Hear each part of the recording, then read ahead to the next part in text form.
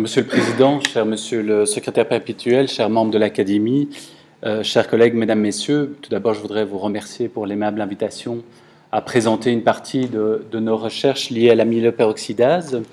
Et donc, en fait, euh, j'ai démarré euh, mes recherches et ma thèse en chimie médicinale, plutôt sur la recherche d'inhibiteurs de l'amyloperoxydase. Mais évidemment, en parallèle, avec notamment le laboratoire de médecine expérimentale du CHU Charleroi, on s'est attelé à essayer aussi de valider l'amyloperoxydase comme cible thérapeutique, ce qui était relativement logique. Et c'est plutôt cette partie-là que je vais vous présenter. Et j'ai intitulé du coup cet exposé L'amyloperoxydase, un nouveau paradigme euh, dans les maladies cardiovasculaires. Alors, après une brève introduction sur l'historique, euh, notamment de l'impact du cholestérol sur les maladies cardiovasculaires, je vais vous parler un petit peu de l'impact de cette amyloperoxydase et vous amener à une conclusion et des perspectives que je vois dans ce domaine-là. Donc en fait, la recherche sur les facteurs de risque de maladie cardiovasculaire, quand j'ai été faire un peu de recherche, euh, un de, mes collègues et amis m'avait pointé le fait effectivement que le décès de Franklin Roosevelt euh, d'une hémorragie cérébrale euh, suite à une hypertension non contrôlée avait incité les autorités américaines à lancer une grande étude et à financer notamment le National Heart Institute qui par la suite va se muer en National Heart, Lung and Blood Institute, et donc essayer de financer une étude pour essayer de comprendre quels étaient les facteurs de risque à la base des maladies euh, cardiovasculaires. Et bien évidemment, un des premiers facteurs de risque qui va être mis en évidence, c'est l'hypertension. Ça, c'est la première chose qui va être mise en évidence. Et donc, euh, ils vont établir l'hypertension comme un facteur de risque, et d'ailleurs plus particulièrement euh, qui est beaucoup plus importante, qui a un facteur prédictif beaucoup plus important que la diastolique. Bah, par la suite, évidemment, les autres grands facteurs de risque que l'on connaît bien vont apparaître dans ces études, ces fameuses études euh, épidémiologiques dites de Framingham, où on va retrouver le diabète, euh, le cholestérol fin des années 70, auxquels je vais euh, m'attaquer plus particulièrement. Et donc, quand on voit dans ces études épidémiologiques de Framingham les courbes de cholestérol, ce qui est assez frappant, c'est que ici, vous avez les personnes en très plein noir qui n'ont aucun événement cardiovasculaire et en pointillé ceux qui ont des événements cardiovasculaires, et ils ont porté ici en abscisse le, cholestérol total. Et on voit un chevauchement assez important des courbes, et donc on a du mal à voir effectivement que le cholestérol total peut avoir un impact, si ce n'est peut-être pour les très hauts taux de cholestérol, où là, seul le trait en pointillé continue, et donc on a l'impression que la causalité forte entre le haut taux de cholestérol et les maladies cardiovasculaires vaut en réalité essentiellement pour des taux très élevés. Alors évidemment, ils ont, été, euh, ils ont continué à. J'ai été voir un petit peu sur le site des études Framingham. Donc à l'heure actuelle, ils sont plutôt dans des études génomiques sur une troisième génération de la population de Framingham. Et ils étudient également les minorités ethniques qui n'avaient pas été prises en compte dans les premières générations. Mais en ce qui concerne le cholestérol, si on regarde les articles qui sont parus fin des années 70, euh, ce qui est intéressant de noter, c'est d'abord effectivement lorsqu'on va voir un petit peu les facteurs de risque cumulés. Si on prend le cholestérol total seul, l'impact n'est pas très important sur les incidences des maladies cardiovasculaires. Euh, par contre, si on ajoute effectivement euh, la tension systolique, ben là, ça augmente fortement. Ici, on ajoute l'intolérance au glucose, tel qu'on l'appelait à, l'époque, et là, l'hypertrophie euh, du ventricule droit. Mais donc, on voit le cholestérol total, finalement, n'est pas le facteur le plus important. Est un, mais ce n'est pas le plus important dans les maladies cardiovasculaires. Dès lors, les auteurs vont aller voir les sous-populations du cholestérol, et notamment le LDL et le HDL, et ce que l'étude de Framingham souligne essentiellement, c'est l'effet protecteur du HDL. Et effectivement, lorsqu'ils font trois catégories de population où ils mettent le taux de cholestérol, LDL cholestérol, et euh, la pression systolique, et qui regardent le taux de HDL, eh bien, les incidences de maladies, d'événements cardiovasculaires chutent fortement lorsque le taux de HDL augmente, quelles que soient d'ailleurs euh, les sous-populations. Et donc, c'est plutôt euh, ça que les études Framingham ont tendance à pointer. Alors évidemment, étant donné que ce sont des études observationnelles, il y a eu toute une recherche fondamentale sur le métabolisme du cholestérol euh, euh, chez l'homme. Et donc, euh, effectivement, je ne vais pas entrer dans le détail de tout ce schéma, ce métabolisme du cholestérol, mais très vite, les auteurs vont étudier deux particules en particulier. C'est le cas notamment des low density lipoproteins, les LDL, qui est vulgairement appelé le mauvais cholestérol. Je vais y revenir et les HDL qu'on va euh, vulgairement appeler le bon cholestérol. Et ce sont essentiellement ces deux lipoprotéines qu'on va retrouver dans la littérature lorsqu'on va parler des maladies cardiovasculaires et de l'athérosclérose en particulier. Alors, pouvoir faire le lien entre ce cholestérol important, ce taux de LDL important et les maladies cardiovasculaires, ben, s'est retrouvé comme un peu pierre angulaire l'athérosclérose. Et donc, euh, une théorie consensus de l'athérosclérose s'est créée dans les années 80, où on explique que ben, quand il y a un taux élevé de mauvais cholestérol de LDL, il pénètre dans l'espace sous-endothélial. Ces LDL sont oxydés, hein, on va revenir sur ces mécanismes, et sont phagocytés par les macrophages. Donc les macrophages vont prendre en charge ces LDL modifiés par ce qu'on appelle des récepteurs scavengers ou des récepteurs éboueurs. Et les macrophages, lorsqu'ils euh, phagocytent trop de cholestérol, se transforment en cellules spumeuses qui stagnent dans la, euh, la, plaque d'athérome. Et on sait que ce processus est initié euh, alimenté par une inflammation chronique, ce qui fait que depuis 30 ans, on considère l'athérosclérose effectivement comme une maladie inflammatoire chronique. Alors, je vous ai dit, euh, on, on s'est attaché à étudier l'athérosclérose essentiellement sur le principe que les LDL sont oxydés, donc tout naturellement, il fallait aller voir quel était le type d'oxydation qu'on observait sur les LDL. Et donc ces fameux LDL, c'est une particule assez complexe qui a pour but de solubiliser euh, le cholestérol qui n'est pas soluble dans, l'eau. Et donc vous avez les esters de cholestérol au centre avec quelques triglycérides. Vous avez une couche de phospholipides et vous avez une protéine, l'apo-B100, la polypoprotéine B100, qui vient stabiliser l'ensemble de la particule et qui va permettre d'ailleurs la reconnaissance du LDL par les cellules. Alors, quand on regarde euh, la littérature, et donc ici c'est un article de revue de Jay Heineke qui travaille dans le domaine, une des premières oxydations qui va être mise en évidence, c'est l'oxydation par les métaux de transition tels que le fer et le cuivre. Et donc il y a un modèle d'oxydation d'LDL oxydo-cuivre qui va émerger dans les années 80, surtout de l'école américaine, qui va essayer euh, de comprendre ce mécanisme et, qu'est-ce qu'il induit au niveau euh, physiopathologique. Alors, quel est l'impact euh, de, ce cuivre, de ces métaux de transition? C'est un impact essentiellement au niveau de la partie lipidique. Donc, qu'est-ce qu'on observe en réalité? C'est que les acides gras insaturés qui ont des doubles liaisons, après une phase de latente assez longue, quelques heures, on a hein, une, une, apparition d'oxydation importante sous forme de dérivés aldéhydes comme l'hexanal, l'hydroxynonénal, la malonine dialdéhyde. Et euh, la raison pour laquelle les auteurs se sont attachés à ce type d'oxydation est peut-être euh, une histoire de limitation analytique à l'époque et une histoire aussi d'observation des plaques d'athérome. Donc, dans les plaques d'athérome, on observait des métaux libres lorsqu'elles étaient euh, en, bien développées, bien stabilisées. Ce qui est assez étonnant parce que les métaux, effectivement, dans notre organisme sont généralement complexés, ils ne sont pas libres. Mais dans les plaques d'athérome bien avancées, on retrouvait ces métaux libres. Je pense que l'autre euh, phénomène, c'est qu'à l'époque, dans les années 80, on était capable d'analyser ces fameux lipides oxydés beaucoup plus facilement qu'étudier des protéines oxydées, par exemple. Et donc je pense que ça a conduit les auteurs à essentiellement s'attacher à ce type euh, d'oxydation. Alors, par la suite, évidemment, euh, les auteurs ont essayé d'étudier d'autres mécanismes d'oxydation. Vous avez l'oxydation à la lipooxygénase, qui est une, oxydation enzymatique qui paraissait un peu plus physiologique. Vous avez la superoxydase. Et puis à un moment donné, émerge début des années 90 la myéloperoxydase. Et cette myéloperoxydase va être considérée comme un des facteurs qui va favoriser l'oxydation des lipoprotéines et donc favoriser le développement de l'athérosclérose. Alors, vous allez me dire, mais comment on en est arrivé là et c'est quoi cette myéloperoxydase Donc, la myéloperoxydase, c'est une enzyme qui est synthétisée au stade de promyélocyte euh, dans les cellules de l'immunité, qui vont donner notamment les neutrophiles. On la retrouve également dans les monocytes et les macrophages. Et dans les neutrophiles, en fait, elle est sous forme de dimère, avec une chaîne légère, une chaîne lourde, et un M qui contient un fer euh, dans chaque monomère. Ce qui est important de noter aussi, c'est que euh, cette protéine est très cationique, et ça va avoir une importance par la suite. Et elle a un point, on le voit parce qu'elle a un point isoélectrique de l'ordre de 10-11, euh, et donc retenez qu'elle est très cationique, elle a beaucoup de charges positives. Alors qu'est-ce qu'elle fait de manière naturelle? Eh La myéloperoxydase, je vous l'ai dit, elle est présente dans les neutrophiles, elle est présente en fait dans les granules azurophiles ou les granules primaires des neutrophiles. Et donc quand un neutrophile phagocyte un pathogène, il va avoir formation évidemment du phagosome et puis du phagolysosome avec le déversement du contenu des granules euh, dans euh, ce phagolysosome et on va libérer la myéloperoxydase. En parallèle, il va y avoir une activation du stress oxydatif dans les macrophages qu'on appelle le burst effect, qui va produire euh, de l'anion superoxyde, qui par dismutation va donner du peroxyde d'hydrogène. Et le peroxyde d'hydrogène, c'est un substrat de la myéloperoxydase, ça va l'activer, et en l'activant, la myéloperoxydase va oxyder les anions chlorures qui sont présents dans le milieu, produisant de l'acide hypochloreux, acide hypochloreux qui n'est autre que l'eau de Javel. Et cet acide hypochloreux va oxyder la paroi des bactéries et, semble-t-il, favoriserait l'élimination euh, des bactéries par ce biais-là.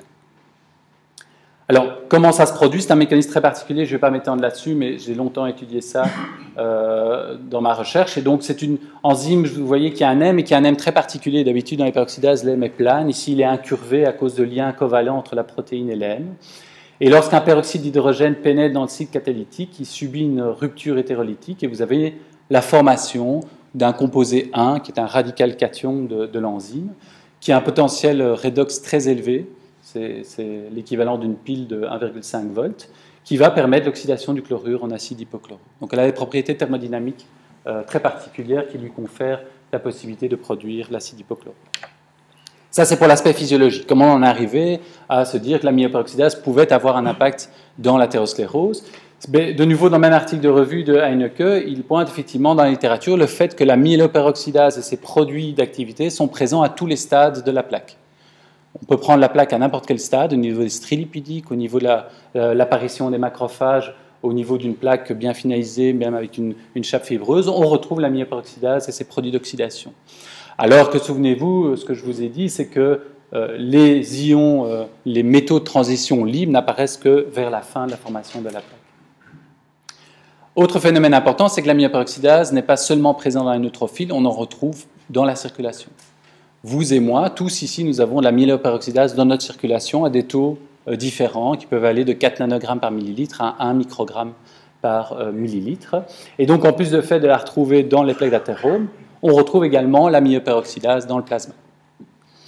Alors évidemment, du coup, il y a toute une série d'études, d'observations qui ont été euh, menées pour essayer de voir s'il y avait une corrélation entre ce taux de myeloperoxydase et des événements cardiovasculaires. Et c'est effectivement le cas. Donc, pas mal d'études essayent de trier les patients en fonction du taux de myéloperoxydase.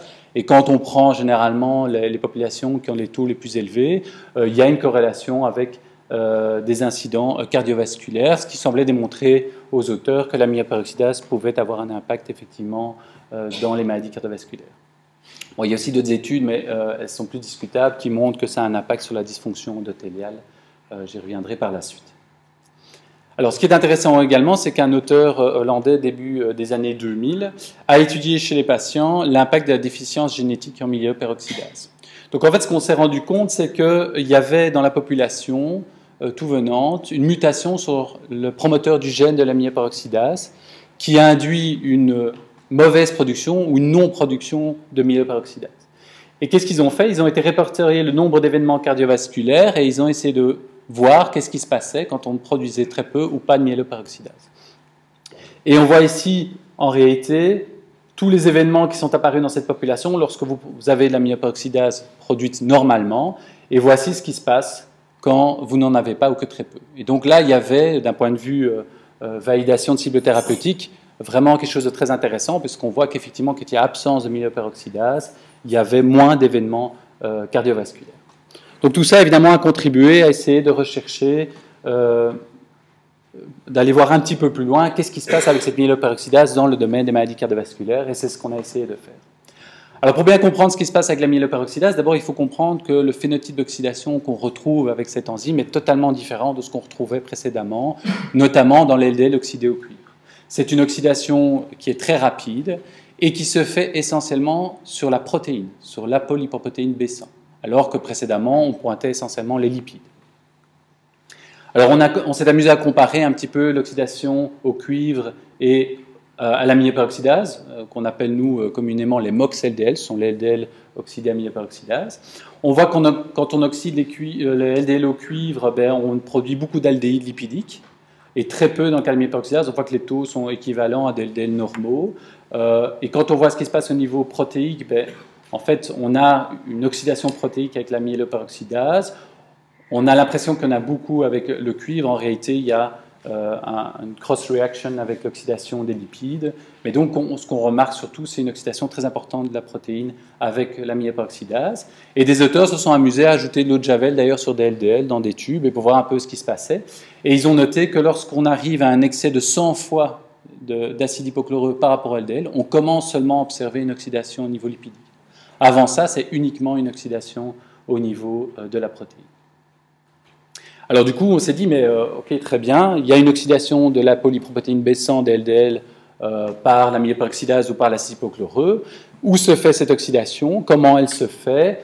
Quels sont les acides aminés cibles? Euh, et de voir un petit peu est-ce qu'on peut détecter CLDL oxydé par la myoperoxydase et comprendre un peu l'impact de CLDL oxydé par la myoperoxydase. Alors la chance que, nous avions au laboratoire faculté de pharmacie, c'est que nous travaillons sur l'inhibition de la avec le laboratoire de médecine expérimentale du CHU Charleroi, qui était à l'époque dirigé par le professeur Van Averbeek. Et ils avaient euh, euh, dans leurs outils la recombinante et l'anticorps monoclonal qui reconnaît spécifiquement CLDL oxydé par la MPO, et notamment ils ont pu observer CLDL oxydé dans des plaques carotidiennes qui étaient extraites chez des patients. En parallèle, nous, nous avions la technique de spectrométrie de masse pour aller voir de manière très fine où se faisaient ces modifications dans la protéine. Donc on s'est mis ensemble pour essayer un peu mieux comprendre ce phénomène. Alors la première manipulation que l'on a fait, manipulation un peu intuitive, c'est de se dire, OK, on a des LDL dans la circulation, tout va bien, on sait qu'il y a l'aminoperoxydase dans la circulation, et les cellules qui sont le plus en contact avec la circulation sont les cellules endothéliales. Et qu'est-ce qu'on a fait? On a mis des LDL et de l'amyoperoxydase en présence de cellules endothéliales de culture. Et qu'est-ce qu'on voit? Une augmentation de la production des LDL oxydés, sans présence de neutrophiles, de macrophages ou de monocytes. Quand on rajoute l'angiotensine 2, et c'est important dans le cadre de notre modèle, on augmente encore plus cette production de MOX-LDL parce que l'angiotensine 2 active la NLPH oxydase au niveau des cellules endothéliales, j'y reviendrai dans le schéma par la suite, et que cette production permet d'activer l'enzyme, la myoperoxydase.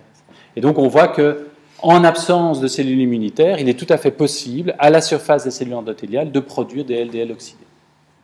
Ça, c'était la, première chose. Ensuite, on s'est dit, mais euh, on est in vitro, on est dans un milieu de culture. Euh, on, a toujours dit que l'oxydation des protéines dans le plasma était très compliquée, parce qu'il y a beaucoup d'antioxydants dans le plasma. Et on s'est dit, mais euh, il faudrait peut-être étudier un petit peu plus comment cette myoperoxydase oxyde les LDL. Et qu'est-ce qu'on a fait? On a fait sur base d'études qui existaient déjà et l'intuition que nous avions, on a incubé de la myoperoxydase en présence de LDL et on a étudié son activité. Vous avez son activité basale ici, et lorsqu'on augmente des quantités de LDL dans le milieu, la myoperoxydase voit son activité augmenter. On était arrivé dans in vitro à augmenter quasi de deux fois son activité, euh, rien qu'en rajoutant des LDL. Donc ça, c'était assez étonnant, et c'est lié au fait que dans la littérature, on savait que la myoperoxydase s'absorbe sur les. Rappelez-vous euh, ce que j'ai dit au début, la myoperoxydase est cationique, et donc elle a tendance à s'absorber sur toutes les structures électronégatives, que ce soit les cellules endothéliales via le glycocalix par exemple, ou les LDL qui sont également électronégatifs. Et donc le fait de s'absorber confère des propriétés particulières à l'enzyme. Alors malheureusement, les techniques de cristallographie à l'heure actuelle ne nous permettent pas d'étudier ce qui se passe réellement, donc on a dû passer par des méthodes plutôt spectroscopiques. On va étudier les propriétés d'absorption dans la lumière de l'enzyme en présence et en absence de LDL. Donc en rouge, vous avez l'amyoperoxydase seule, et dès qu'on met le DLDL, on voit un petit chiffre dans cette zone à 410 nanomètres, et une réduction euh, notamment entre, autres de l'absorption. Euh, qu'est-ce que ça veut dire En fait, cette bande d'absorption à 410 nanomètres, c'est la bande caractéristique du site catalytique de l'enzyme. Ça veut dire pour nous qu'il y a une modification de conformation de l'enzyme qui est à la base de cette augmentation de l'activité. Quelle modification de conformation? Ben, Il faudra attendre une amélioration des techniques cristallographiques pour pouvoir répondre. Pour l'instant, on est limité, on ne peut pas euh, aller plus loin dans ce domaine. Donc dans ce contexte-là, euh, on s'est dit, mais qu'est-ce qui se passe au niveau de la protéine? Et donc par spectrométrie de masse, on s'est dit, on va aller voir quelles sont les modifications engendrées. Pour ça, on a pris des LDL chez des personnes euh, saines, pour autant qu'on puisse les considérer comme saines, vous allez voir que ce n'est pas toujours évident. On va prendre ces LDL, on va, la première chose qu'on va faire, c'est récupérer la protéine par extraction. Ensuite, par des techniques classiques, on va étirer la protéine pour pouvoir aller la découper en peptides euh, via une enzyme qu'on connaît très bien, qui est la trypsine. Ensuite, euh, au laboratoire, on va séparer ces peptides par une méthode chromatographique, chromatographie liquide. En fait, on les sépare en fonction de leur polarité. Et puis, on va les analyser par un spectromètre de masse haute résolution qui permet d'identifier les peptides et leur forme oxydée euh, assez rapidement. Or, quand je dis assez rapidement, quand vous voyez la séquence de l'apobescence, ça n'a pas été si simple que ça. L'apobescence est la plus grosse protéine circulante euh, dans la circulation, si on, exclut la, LP petit a. voyez, c'est une séquence d'à peu près 4635 acides aminés. Euh, ça a fait l'objet d'un travail de trois ans d'un de nos doctorants qui a essayé de mettre au point une technique pour qu'il puisse aller voir toutes les modifications probables dans cette protéine. Il y était arrivé, et donc suite à ça, on a pu aller voir, mais tiens, qu'est-ce qui se passait dans ces LDL La première chose qu'il a fait, c'est qu'il a pris des LDL au laboratoire, qui étaient isolés de, personnes euh, saines, et il a oxydé ces LDL avec d'une part l'enzyme et du peroxyde d'hydrogène en présence de chlorure, et d'autre part directement l'agent chimique qui est l'acide hypochlorite. La première chose qu'il a noté, c'est qu'on observait une oxydation spécifique de l'enzyme qu'on n'observait pas en présence d'acide hypochlorite. De nouveau, ça nous confortait dans l'idée que le fait que la myoperoxydase s'absorbe sur les LDL confère des oxydations particulières au niveau de la peau euh, qui sont tout à fait euh, objectivables et qu'on pourrait retrouver éventuellement in vivo. Deuxième chose qui était attendue, ce sont essentiellement les acides aminés oxydables tels que la méthionine, le tryptophane et la tyrosine qui sont les cibles de cette oxydation. Je vous ai mis d'ailleurs dans l'ordre d'oxydabilité, c'est d'abord la méthionine, puis le tryptophane, puis très loin derrière la tyrosine. Alors pour vous donner d'exemples de, de, résidus qu'on a trouvés qui nous intéressaient, le premier, c'est la tyrosine 76 qui était chlorée. Pourquoi ce résidu nous intéresse? Parce que comme la myoperoxydase est la seule à produire l'acide hypochloreux, la présence de chlorotyrosine, de 3-chlorotyrosine, est le signe que la myoperoxydase s'est activée, et donc ça pourrait être un marqueur spécifique de l'oxydation par la myoperoxydase. Autre site qui nous a intéressé, qu'on a observé, c'est l'oxydation du tryptophane 4369, qui n'était pas répertorié dans les les, troubles génétiques euh, d'hypercholestérolémie. Euh, en fait, dans un article euh, où ils avaient muté ce tryptophane chez la souris, ils avaient observé qu'il y avait une modification de la conformation de la peau baissante qui ne permettait plus que les LDL soient reconnus par le récepteur. Et c'était lié au fait que ce tryptophane faisait des liaisons avec une arginine 3500. Et donc le fait qu'il y ait cette oxydation pourrait effectivement induire ce même, euh, cette même modification de conformation, mais on n'a pas encore pu le déterminer. Alors on s'est dit, mais très bien, on fait ça dans des tubes, qu'est-ce qui se passe chez les patients? Et donc on a contacté euh, les services d'hémodialyse, néphrologie d'hémodialyse de l'hôpital Erasme et du CHU Charleroi euh, pour euh, pouvoir récolter des LDL et par la suite des HDL chez ces patients, mais également du sérum et du plasma. Pourquoi ces, personnes en particulier? Parce que, en fait, malgré la biocompatibilité des membranes sont utilisées en dialyse, beaucoup de patients dégranulent spontanément au cours de l'hémodialyse. Et on a pu notamment montrer que pendant la cinétique d'hémodialyse, vous voyez qu'en 30 minutes, le taux de MPO euh, augmente chez tous les patients. On a vraiment une augmentation de la myoperoxydase en termes de quantité d'activité qui augmente de, façon assez importante. Ce qu'on a pu aussi euh, démontrer, c'est qu'en parallèle, on a une augmentation des, chlorotyrosines, les trois chlorotyrosines dans les protéines. Ça veut dire que quand, en parallèle, au cours de l'hémodialyse, il y a une oxydation des protéines dans la circulation. Chose qu'on avait toujours dit qui était impossible parce qu'il y avait des antioxydants qui étaient présents dans le plasma, eh bien, on voit quand même qu'il y a quelque chose. Et peu avant ça, il y avait déjà une étude qui avait été faite il y a, il y a 6 ou 7 ans par une, une étudiante qui était en, mémoire au service euh, de médecine interne. Et elle, elle avait été voir les MOX-LDL via, avec l'anticorps. Et on avait observé effectivement que chez tous les patients, ces MOX-LDL augmentaient au cours euh, de l'hémodialyse. Ce qui semblait quand même démontrer que dans la circulation, il y avait quelque chose qui se passe. Alors on est allé voir chez ces patients et effectivement, euh, nombre des modifications qu'on observait en tube avec la myoperoxydase, on les observait chez les patients en hémodialyse, et ça, on pouvait l'observer par spectrométrie de masse, qui semblait démontrer qu'effectivement, euh, la myoperoxydase avait un impact dans la circulation directement sur ces euh, fameux LDL. Alors, c'est pas tout, on s'est dit, mais euh, cette myoperoxydase est présente, les LDL également, et on avait déjà fait des, des sur cellules qui montraient que l'angiotensin 2 pouvait avoir un intérêt.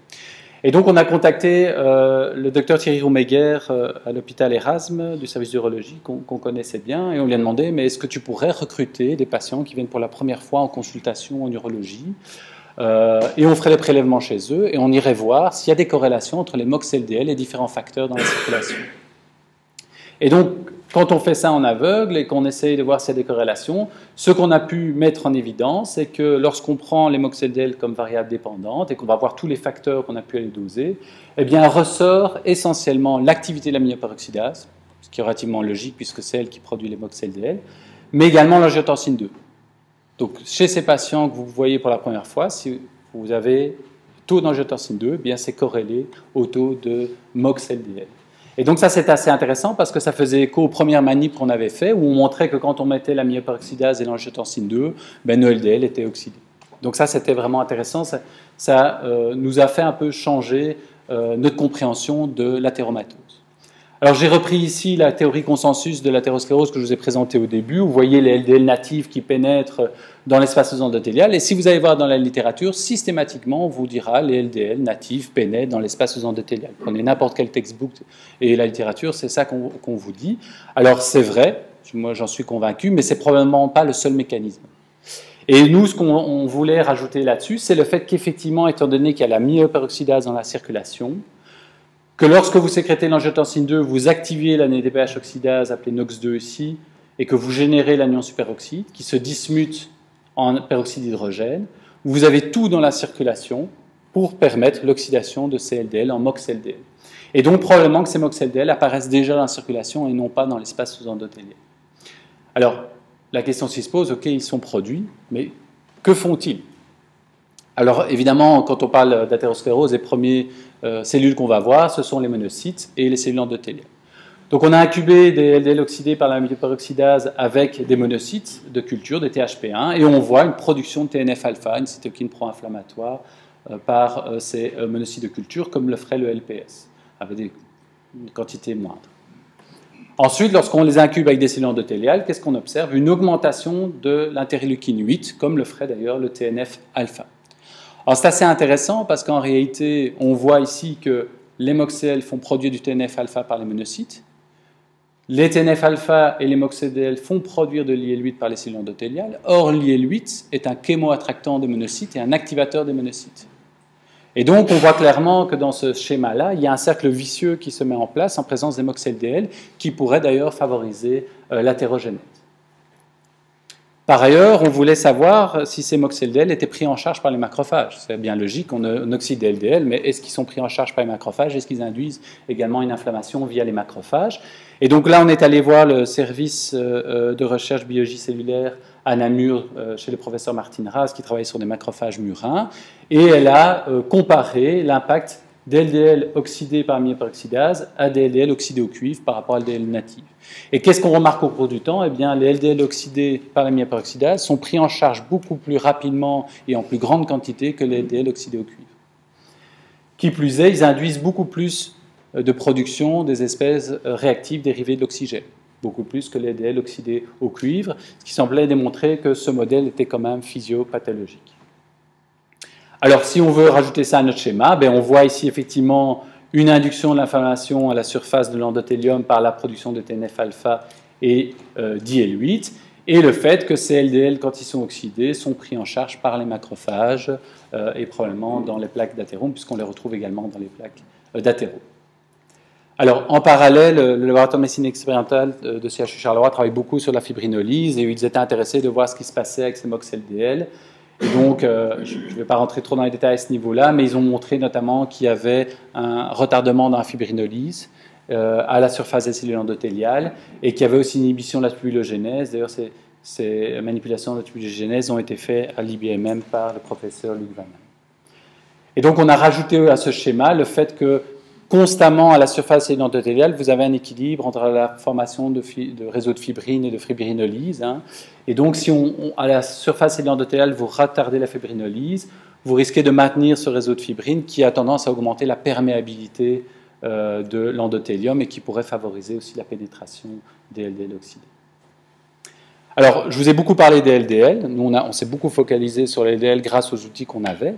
Mais dans la théorie de l'athérosclérose, il ne faut pas oublier les HDL. Hein, les HDL sont protecteurs et il y a une raison très simple à cela. C'est que les HDL, quand ils sont sous forme de, particules pré-bêta, lorsqu'ils viennent d'être formés, vont aller chercher dans les macrophages et plaques d'athérome le cholestérol excédentaire. Et le but des HDL, c'est d'aller rechercher ce cholestérol, de l'estérifier, de le renvoyer vers le foie pour être éliminé. D'accord?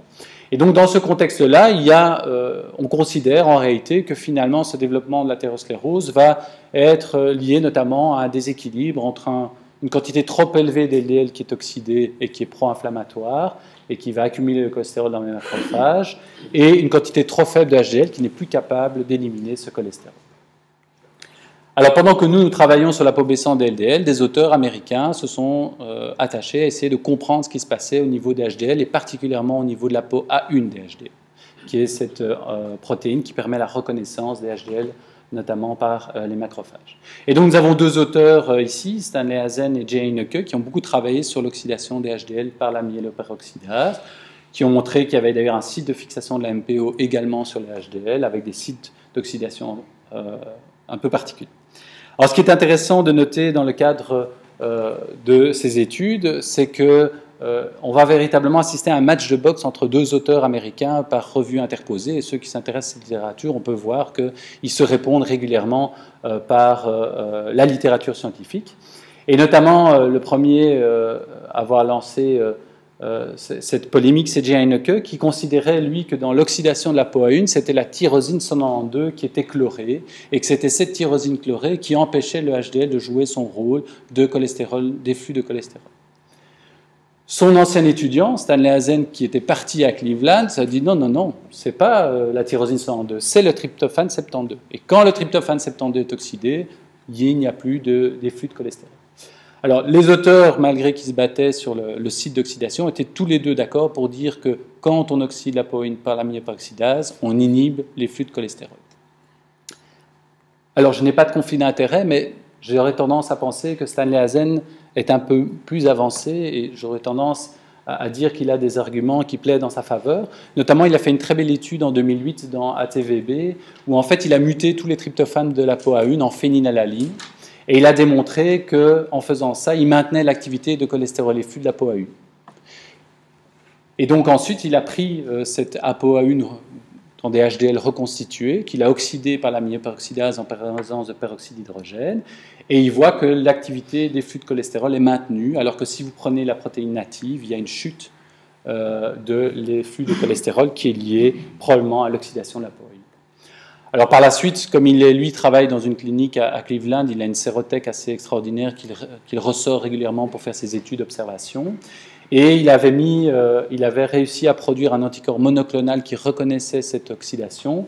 Et il a étudié ce qui se passait chez les patients. Et de manière générale, il observait que quand on prenait euh, les patients qui avaient des plus hauts taux d'oxydation de la poïne au niveau de, cette, de ce tryptophane 72, il y avait plus d'événements cardiovasculaires donc ce qui le confortait un petit peu euh, dans euh, sa modification. Alors, on s'est dit, mais le problème, c'est que ces auteurs se battent essentiellement pour une raison, c'est qu'ils n'utilisent pas du tout les mêmes techniques pour doser leurs modifications.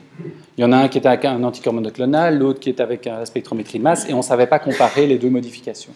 Donc on s'est dit, mais il y aura peut-être moyen de les départager euh, en utilisant nos techniques de spectrométrie de masse. Et donc c'est ce qu'on a fait. On est de nouveau allé chercher chez nos patients en hémodialyse des HDL qu'on a isolés par ultracentrifugation à gradient de densité. On a isolé les protéines. Comme tout à l'heure, on a coupé la protéine en peptides et on les a analysées par chromatographie liquide couplée à la spectrométrie de masse. Mais cette fois-ci, ce n'est pas la spectrométrie de masse haute résolution, c'est la spectrométrie de masse qu'on appelle à haute fréquence, qui est beaucoup plus sensible, qui permet d'aller voir des petites quantités. Alors vous voyez que la séquence de la POA1 est beaucoup plus simple à analyser, elle est beaucoup plus petite. Ici en couleur, vous avez tous les sites de modification qui étaient présents dans la littérature, donc on a pu aller les rechercher tous pour pouvoir les étudier. Et donc comme pour les LDL, on va faire la même chose, on va prendre les HDL, on va les, délipider, on va récupérer les protéines, et ici la POA1 nous intéressait particulièrement, on la dénature en les tirant, et puis on la découpe en peptides. Et en faisant ça, on peut aller, grâce à la spectrométrie de masse, couper la chromatographie liquide, aller rechercher le peptide normal de la POA1 et l'oxydation selon Stanley Hazen. Et on peut faire la même chose pour la médication de Jane Que, aller voir la tyrosine 102 et sa chloration. Et ça, on pouvait le faire et on pouvait du coup les comparer puisqu'on le faisait au même moment sur les mêmes échantillons. Et on, on est allé voir également toutes les autres modifications qui étaient présentes dans la littérature, des nitrotyrosines et d'autres modifications. Alors c'est assez intéressant cette technique, et ça c'est un petit aparté que je fais, parce qu'en fait il y a de plus en plus dans la littérature des auteurs qui défendent le principe que le dosage de cholestérol ne devrait plus se faire selon les méthodes enzymatiques actuelles. À l'heure actuelle, on utilise des méthodes enzymatiques pour déterminer le cholestérol total, le cholestérol dans les HDL, et on en déduit par la, formule de Friedwald le LDL cholestérol. Il y a des études qui montrent que ces techniques ne sont pas tout à fait robustes, mais ce sont celles qui sont utilisées actuellement. Et des auteurs défendent le fait qu'il faut plutôt utiliser la spectrométrie de masse en dosé l'apo baissant et l'apo Et on s'est basé notamment sur ces techniques-là pour aller étudier les modifications qui nous intéressaient. Alors voilà les résultats qu'on a obtenus, euh, qui datent encore de, euh, de, cette année. Donc on est allé voir la modification de Stanley qu'on a rapportée au peptide normal, et on vous a mis ici l'échelle logarithmique pour des questions de comparaison. Et la première chose qu'on observe, c'est d'abord que ces modifications sont présentes chez les volontaires sains. Ce qui est très intéressant parce que ça veut quand même dire qu'on est quand même face à un mécanisme probablement physiopathologique avec euh, une chronicité. Hein, ce n'est pas un système on-off, on n'en voit pas chez les, personnes saines et puis on voit ça chez les malades, on en voit chez tout le monde. Mais surtout, on en voit plus chez les patients en hémodialyse. Donc là, on voit qu'effectivement, le phénomène oxydatif a induit cette modification. Si on regarde la modification d'Heineke, on a le même phénomène. On voit la modification chez euh, les personnes normales et on la voit également chez les patients en hémodialyse. Mais si on regarde le niveau, on est un peu plus bas. Ça veut bien dire que la la modification d'Heineke est beaucoup plus faible que celle de Stanley Hazen. Donc en proportion, on a nettement moins de chloration de tyrosine et on a beaucoup plus d'oxydation de tryptophane, ce qui est relativement logique, puisque quand on étudie les cinétiques d'oxydation des acides aminés, l'oxydation du tryptophane est beaucoup plus rapide que la chloration de la tyrosine. Donc là, ça s'était conforté par euh, des études de, cinétique. Alors on a fait, euh, on a étudié d'autres modifications. Et notamment, on a étudié la méthionine 112. On a remarqué que la méthionine 112, 10% de la POA1 était oxydée au niveau de cette méthionine. Alors, ce n'est pas trop grave d'un point de vue physiopathologique, puisque lorsque la méthionine est oxydée, il n'y a pas d'impact au niveau, il n'y a pas d'inflammation, il n'y a pas d'inhibition de l'effet de cholestérol, mais ça dénote quand même euh, le taux d'oxydation important chez les personnes normales. Et donc on s'est amusé à faire des corrélations pour voir un petit peu quel était le peptide qu'on pourrait utiliser dans le cadre d'un dosage pour le futur. Et ce qui nous a euh, assez marqué, c'est que chez les volontaires sains, on n'avait aucune corrélation entre le tryptophane 72 et cette méthionine. Par contre, quand on passe chez les patients, on a une corrélation très forte qui apparaît. Et donc, ce qui tente à démontrer que ces oxydations se font en parallèle. Elles sont d'ailleurs deux acides aminés assez proches dans, dans, la séquence. Et donc là, on pourrait commencer à voir apparaître des corrélations, ce qui pourrait être intéressant dans le cadre où si dans le sérum, on serait incapable de détecter directement ce tryptophane, on pourrait aller avoir la méthionine. Alors, vous avez vu, je vous ai euh, fait un peu un tableau sur euh, l'impact de la sur euh, les lipoprotéines. Donc, ce qui nous semble important de noter, c'est qu'effectivement, cette théorie qui dit que l'oxydation a lieu uniquement dans l'espace endothélial ne suffit plus pour, pour expliquer ce phénomène d'athéromatose et qu'il y a également des oxydations dans la circulation circulation qui est pro-inflammatoire et qui doit induire probablement euh, des phénomènes inflammatoires qui euh, permettent le développement de cette athérosclérose. Euh, on sait que cette oxydation, notamment des lipoprotéines, ben, induit l'inflammation ou bien rend ces lipoprotéines dysfonctionnelles, ça je vous l'ai montré. Et la question qu'on s'est posée suite à ça, c'est est-ce que finalement le dosage du LDL cholestérol et du HDL cholestérol reflète-t-il bien l'activité de ces lipoprotéines? Ça ne semble pas être le cas. Euh, et donc, il serait peut-être intéressant de plutôt s'atteler à euh, essayer de faire un rapport entre ces lipoprotéines normales et oxydées pour essayer plutôt de parler de qualité de lipoprotéines et non plus de quantité, euh, chose qui est faisable notamment par la spectrométrie de masse qui s'implante de plus en plus dans les laboratoires de biologie clinique dans les différents hôpitaux. Et donc là, il y aura peut-être une ouverture. L'intérêt, ce serait probablement de mieux stratifier les patients et de probablement répondre au fait que des patients qui ont une hypercholestérolémie ne font pas forcément des événements cardiovasculaires et inversement, des gens font des événements cardiovasculaires sans avoir nécessairement une hypercholestérolémie ou d'autres facteurs de risque. Voilà. Et pour terminer, ben, évidemment, avant de vous remercier, ben, je voudrais remercier l'ensemble des personnes qui ont contribué euh, à ce travail, notamment en Belgique, euh, que ce soit au CHU Charleroi, à l'IBMM, euh, des collègues au niveau de l'hôpital académique d'Erasme, Joël Nortier, Thierry Rouméguer, et également l'ensemble des personnes du laboratoire et de la plateforme analytique qui ont contribué à ce travail. Et je vous remercie également pour votre attention.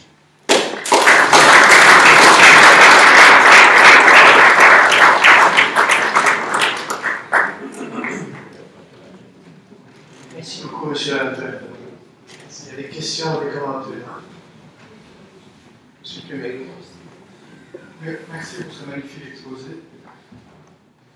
L'infection chronique euh, de la gencive au est associée à de la vasculaire. Est-ce qu'on peut faire le lien avec une production de myeloperoxydase dans ce phénomène d'inflammation chronique? Parce que l'oxydation, quelque part, euh, n'existe pas chez tout. Donc, est-ce qu'on peut, est-ce que vous avez essayé de voir ce type de sous-patient Alors, on serait tenté de tout faire avec la myoperoxydase pour la simple et bonne raison que tous les auteurs, dès qu'ils ont une pathologie inflammatoire, veulent aller voir si la myoperoxydase. Donc, je ne l'ai évidemment pas montré ici, mais les auteurs montrent qu'elle pourrait être impliquée dans la maladie de Parkinson, dans la maladie d'Alzheimer, euh, dans toutes les pathologies inflammatoires chroniques, euh, effectivement. Et donc, en fait, ce qu'on voit d'assez particulier dans le cas de la myoperoxydase, c'est qu'effectivement, dès qu'il y a une inflammation, on retrouve souvent une dégranulation quand c'est une inflammation des tissus, parce que notamment les neutrophiles sont incapables d'aller phagocyter les structures, et donc on a sa libération de myoperoxydase. Mais nous, on n'a pas été voir encore, effectivement, s'il y avait des taux augmentés de myoperoxydase chez ces patients-là. Mais il y a aussi un biais dans le dosage de la myoperoxydase dans la circulation, c'est que ne vous l'ai pas montré ici, les dosages que je vous ai donnés de 4 nanogrammes à 1 microgramme par millilitre ne reflètent pas la totalité de la myoperoxydase. Notamment, on a un collègue allemand qui s'est amusé à injecter de l'héparine chez les patients et de remesurer le taux d'MPO. Et en fait, il s'est rendu compte qu'il décrochait toute la myoperoxydase qui était un peu partout sur l'endothélium et les, quantités augmentaient encore de façon énorme. Mais il y aurait effectivement matière à, vérifier ce qui se passe à ce niveau. Michel oui, dans, la foulée de la question de Nathan Pubet, je voudrais t'interroger sur la, pertinence de tes travaux pour comprendre les complications vasculaires dans deux situations. La première sont les vasculites systémiques associées à la présence d'anticorps anti-myéloperoxydase, où ces anticorps effectivement euh, sont un facteur pronostic de la sévérité des lésions. Et la deuxième situation, c'est le diabète puisqu'on sait qu'il peut y avoir une activité myéloperoxydase augmentée. Et, dans ta réponse, j'aurais voulu que tu fasses allusion à des travaux récents qui suggèrent que lorsque les taux de LDL sont bas, en fait, les taux de HDL pourraient être un facteur prédictif de complications cardiovasculaires. Donc, juste l'inverse de ce qui est habituellement accepté. Donc au niveau des, vasculites, hein, oui, donc c'est une maladie qui est considérée à mon sens comme auto-immune et on, la voit aussi au niveau de pathologies comme les glomérulonéphrite. donc effectivement, c'est une pathologie qui est liée à une dégranulation importante des neutrophiles et donc on produirait des anticorps contre notamment toutes les protéines présentes dans ces granules et en particulier un anticorps qui reconnaît la myoperoxydase. Et donc euh, Malheureusement, à l'heure actuelle, qu'est-ce qui se passe quand on, nous, on a un congrès sur ce domaine-là? C'est que pour l'instant, on est très scindé. Nous, on travaille beaucoup sur les maladies cardiovasculaires. Eux travaillent beaucoup sur cette maladie auto-immune. Moi, ce que je retiens de ça pour l'instant, c'est que euh, c'est essentiellement des atteintes rénales fonctionnelles qu'on retrouve. Et donc, généralement, eh ben, les patients, ils, ont plutôt ce tableau euh, euh, de, dysfonction au niveau, au niveau rénal. Alors, je ne connais pas bien les chiffres. Est-ce que les incidents, ça aboutit aussi à des incidences cardiovasculaires. Mais c'est vrai qu'on est très segmenté dans ce secteur-là, et donc on, et, d'ailleurs les auteurs là-dedans s'accordent plus à aller chercher l'anticorps que la myoperoxydase en tant que telle. Donc c'est très difficile pour nous de, voir quel peut être l'impact et faire le lien entre ces anticorps et les maladies cardiovasculaires. Pour revenir sur la HDL, oui, on me pose souvent la question. Euh, quand je présente ça, c'est vrai que les gens sont très enthousiastes, souvent en disant mais ça pourrait expliquer pas mal de choses, parce qu'on s'accorde toujours à essayer de doser les HDL et les LDL, mais on va jamais voir ce qui se passe au niveau de l'oxydation. Alors je pense que pour l'instant, il faut tempérer, parce que quand on regarde les modifications que nous, on observe, on est, dans le meilleur des cas, celle de Stanley Alzen, à 2, voire 4% euh, chez les patients. Maintenant, on est chez les patients en hémodialyse, ils ne sont pas au cours d'hémodialyse. Ce sont des patients qu'on prend au moment où ils arrivent, peut-être que pendant l'hémodialyse, ça augmente et puis ça diminue. Donc, J'aurais tendance, si j'étais enthousiaste, de dire bah oui, ça pourrait expliquer pas mal de choses. Ça pourrait expliquer pourquoi des taux parfois d'HDL élevés ben, ne suffisent pas pour protéger les maladies cardiovasculaires. Ça fait écho aussi à toutes ces études qui essaient de manière artificielle d'augmenter le HDL qui sont des échecs, où on me dit mais ça pourrait être une explication, oui. Alors, il ne faut pas oublier que le HDL est beaucoup plus complexe que le LDL. Le HDL, ce n'est pas que l'ApoA1, il y a les ApoA, les ApoC, les ApoL, euh, l'ApoD, la paroxonase. On a beaucoup de mal à pouvoir faire des sous-populations de l'HDL et à comprendre ce qui se passe. Nous, on aimerait bien notamment aller voir si ce taux d'oxydation de l'apoïne varie en fonction des sous-populations.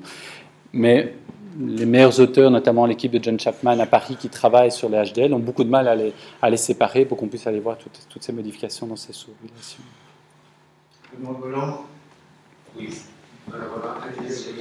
Merci beaucoup pour cet exposé. Un des messages nouveaux, du moins pour moi, c'est que cette là circule, euh, ou en tout cas présente dans notre euh, espace intravasculaire et d'une perspective presque de prévention primaire. Est-ce que vous êtes au courant de travaux qui compare sa concentration chez, par exemple, les gens sédentaires versus activité physique ou les gens tabagiques et abstinents. Donc, est-ce que ce qu'on appelle les modes de vie euh, au, niveau des populations et autres maladies est corrélé avec euh, l'activité de ces Je n'ai pas en tête comme ça d'études, mais pour l'anecdote, j'ai des euh, collègues et amis australiens qui travaillent sur l'impact du taux de thiocyanate en lien, en lien avec pourquoi ils en sont arrivés là? D'abord, les fumeurs ont du thiocyanate, donc c'est SN- en grande quantité dans la circulation, beaucoup plus que chez les patients normaux. Et chez les mangeurs de choux, on en retrouve beaucoup aussi. Et en fait, ce qu'ils ont démontré, c'est assez étonnant d'ailleurs, c'est que le thiocyanate en fait pourrait prévenir des événements cardiovasculaires parce qu'en fait, il détourne la myoperoxydase de tout ce que je vous ai montré. Le thiocyanate est un substrat beaucoup plus important que les chlorures quand il est en grande quantité. Alors évidemment, pour les embêter, on leur dit mais donc vous nous proposez de fumer? Ils disent oh, non non non, c'est pas ça. Euh, dit mais voilà, c'est quelque chose qu'il faut euh, garder en tête. Mais j'ai pas de données euh, comme ça. Il y a des données, il y a plein de données qui sortent comme ça sur des, conditions très particulières, notamment euh, il y a eu un article comme ça qui est paru où euh, des gens qui avaient une douleur poitrinaire, eh entre le moment où les neutrophiles rentraient dans le cœur et, sortaient, ils dégranulaient par exemple. Et donc il y a toute série de conditions, effectivement, la myoperoxydase. Maintenant, il ne faut pas oublier que la MPO ne suffit pas. Il faut qu'elle soit active. Et on remarque, nous, souvent que dans les fractions d'MPO qu'on dose, 100% n'est pas actif. Ça, c'est la première chose. Donc, il y a un problème de processing de certains phénotypes cellulaires. Et il faut de substrat, il faut un stress oxydatif. Et ça, souvent, c'est négligé dans les études. Encore deux questions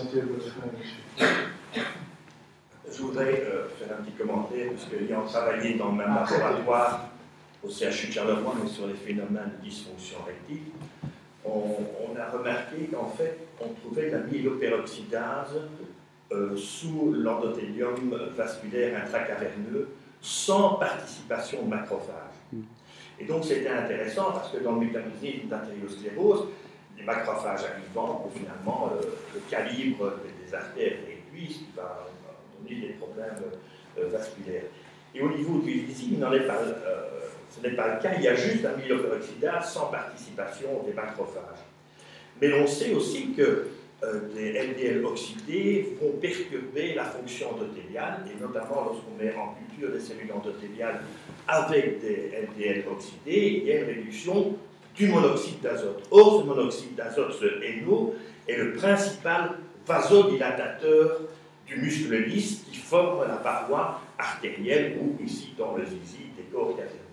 Et donc, par elle-même, probablement, nous ne l'avons pas encore les MOX-LDL ont une influence sur la production de certains facteurs par les cellules endothéliales et peut-être le monoxyde d'azote, qui est le vasodilatateur important du corps humain pour assurer une bonne oxygénation des tissus. Merci pour ces précisions, effectivement. Hein. et donc, euh, il, y a, aussi un article dans Science en 2002 qui dit que la MPO en elle-même a déjà diminué la biodisponibilité du NO, et donc les MOXL viennent se rajouter encore à ça. et on a trouvé d'ailleurs les, étude que Thierry Omega a fait également, donc des MOX-LDL avec vous, tout à fait, des MOX-LDL dans, euh, sur les cellules endothéliales dans le corps caverneux euh, chez les patients qui avaient une dysfonction érectile. Et au cours de la dernière, vous avez montré que l'angiotensine 2 augmente l'oxydation. Est-ce que vous avez un modèle pour expliquer le mécanisme? Donc, comme je l'ai montré ici, on sait que l'angiotensine 2 dans beaucoup de cellules augmente l'activité de la NADPH oxydase qui produit l'anion superoxyde. Et dans la paroi vasculaire au niveau cellule endothéliale, il y a une superoxyde dismutase qui la transforme en peroxyde d'hydrogène. Peroxyde d'hydrogène qui est l'activateur de la myoperoxydase. Donc on a tous les éléments au niveau de l'endothélium qui sont présents. Alors ce qui est amusant, c'est que, je ne l'ai pas dit ici parce qu'on ne l'a pas publié, euh, il faudrait faire des études un peu plus complexes. Parfois on avait un problème parce qu'on on, voyait chez les patients en hémodialyse, on ne voyait pas les mêmes taux de, de MOX-LDL. Et en allant voir dans leur dossier, en fait, ils avaient des inhibiteurs d'enzymes de conversion ou des sartans, qui sont des inhibiteurs évidemment de la production ou de l'effet de l'angiotensine 2. Donc, ce qui nous confortait un petit peu dans cette idée-là. Mais je pense qu'il faut qu'on accumule les patients pour euh, rendre les choses un peu plus euh, euh, intéressantes et, plus significatives. Mais c'est effectivement, c'est par ce biais-là, par cette NADPH oxydase des cellules endothéliales que probablement il y a un impact. tout le monde, merci. Avec plaisir. Merci.